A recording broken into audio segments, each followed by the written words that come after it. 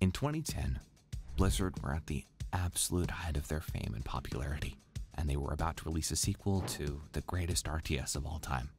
But what no one could have known is that the launch of StarCraft 2 wouldn't just result in a new popular gaming title, it would change the internet forever. So strap on your Segway helmet, because this is the story of how StarCraft 2 changed the internet forever.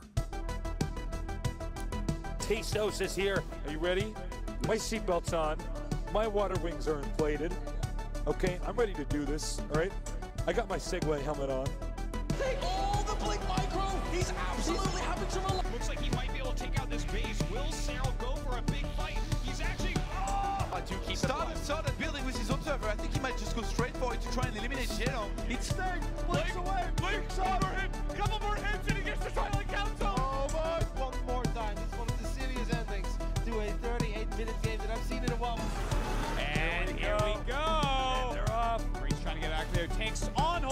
But before we begin, I've got to admit that this is like the third or fourth attempt at this video, partly because this means a lot to me, this story, and partly because it's a story that's hard to tell.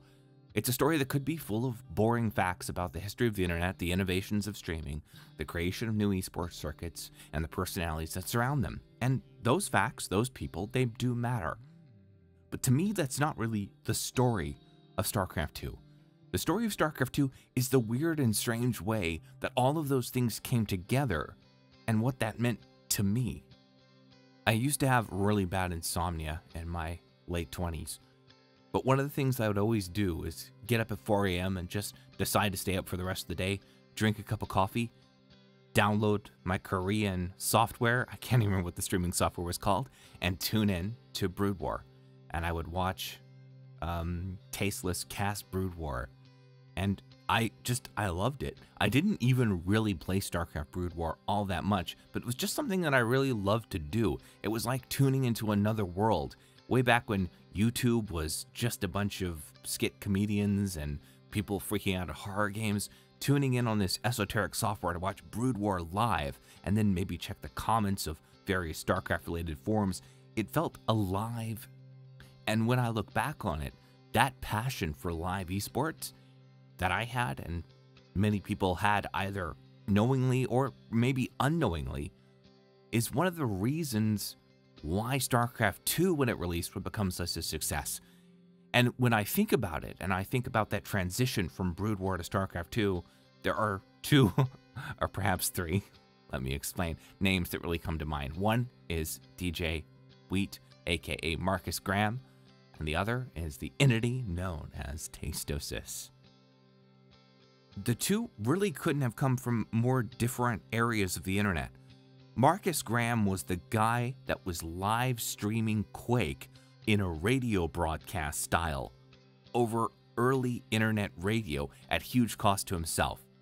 If you guys remember early internet radio, that was a weird place. And that he had the passion, the idea to stream games without even any image quality. Well, sorry, any image at all is just a little bit crazy, but a little bit genius. And Marcus Graham would go on to be the OG daddy of esports casting. He casted everything from Street Fighter, Quake, StarCraft 2. If you followed early esports on the internet in 2009, 2010, he was just literally everywhere. I often found myself saying at the time, who the hell is this guy? And why is he everywhere? But that's not just how he changed the internet. Marcus Graham changed the internet because a little company called Justin TV, aka Twitch, saw him and would hire him as their creative director or head of creators, as I think Twitch calls it. And Marcus Graham would be the head of Twitch during really what many streamers seem to consider its glory days. And on the other hand, you have two different people transformed into a single union, the entity that all us StarCraft fans know as Tastosis. But the two Templars in this Archon ended up in Korea in very different ways. Nick Plott came as a commentator. After being frustrated by the commentary during the World Cyber Games, when really people didn't understand at all how Brood War worked at even a fundamental level in the West, he began commentating various StarCraft tournaments. Eventually, he received an offer from GomTV, who invited him to provide the English commentary for StarCraft Brood War. This is, of course, the aforementioned show that I loved watching late at night. On the other hand, Artosis had come across as one of the few Westerners trying to be competitive in Korean Brood War, alongside people like Idra, who did succeed in actually getting on the TV at one point. I'll see if I can find some footage of that for this video. The two would meet and eventually become friends, and I won't make this into a long biopic on the two of them.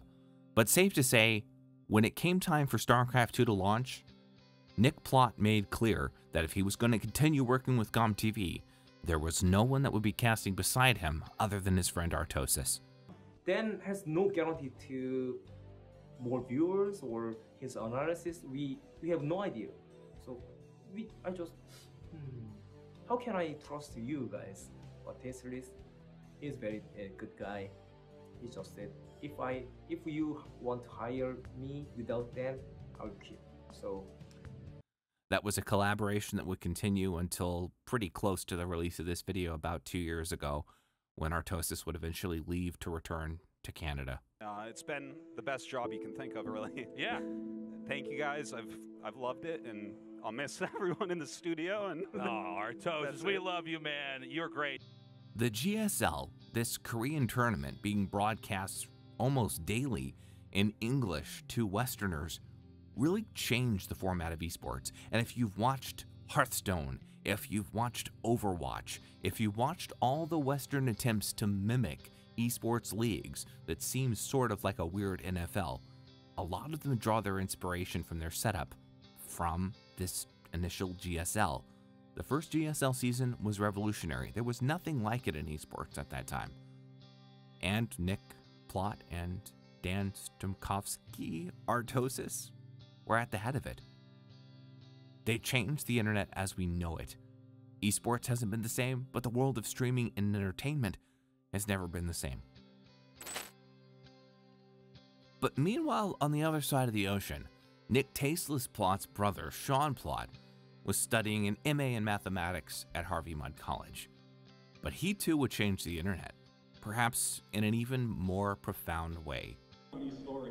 So as much as I'm going to miss all my wonderful memories and all my buddies in Mudd, the one thing I'm not going to miss, and many people agree with me, is the Harvey Mudd dating scene. Right? In October of 2009, Day 9 would then, using the very early website livestreaming.com, announce that he would be on livestreaming.com doing explanatory daily netcasts. Netcasts, we didn't call it streaming in those days, of Brood War and explaining various Brood War tactics and strategies to his audience. To say that this early netcast took off would be a radical understatement. Day 9 would go on to crash the website almost daily. You see what I did there? With how many viewers would tune into his stream. He would rely he would stream 4 times a week, often for about 2 hours in the evening. So this was not the live streaming that we have today where live streamers will sit on their stream for 8 hours a day, 7 days a week. You needed to tune into this, but people did. People did in the hundreds. I think he maxed out in the thousands, bringing down the website. This was the first live stream. And day nine was personable, it was educational. This wasn't the sketch comedy that we're all getting from YouTube, although there's nothing wrong with that. It wasn't some guy running through a haunted house screaming. It was a very well educated teacher who was explaining to you how computer games worked. And you could engage with it. They can use hold position and it sprays out with the fire. That's really useful against Marines because Marines get bunched up right there. But if you're against a medic, a unit you do specifically want to target, for God's sake, right click on it so you can be guaranteed to kill it. If you hit hold position here, and even one of these Marines hits the Mutalisks, these Mutalisks will all of a sudden not target the medics. interact with him, and learn about the game. It was a different experience than a lot of any than anything I'd had on the internet before. Day 9 had invented being a streamer. But there was another streamer on those early streaming sites, most of which would either fail or be amalgamated into Justin TV, which would then become Twitch TV. And that streamer was the opposite of Day 9, where Day 9 was your lovable older brother who knows more about math and gameplay tactics than you. This streamer would be controversial. But yet, of anyone covered in this video, he would probably change internet culture more than anyone else. And his name is Stephen Bonnell II. Unlike many streamers in those early days who sought to hide their identity, he just used his full name. And I remember looking at his stream on Team Liquid and thinking, this guy's a moron who shares their full name online and also notes that they're the second. Well, we can't do a full biography of Stephen Bonnell II here, but safe to say, we're day nine, the son of Kansas, the good boy of gaming, the guy we all loved. Well, Destiny was the guy that everyone loved to hate. Okay, here's the plan. The Overlord will serve as a retard magnet, drawing out the Protoss army.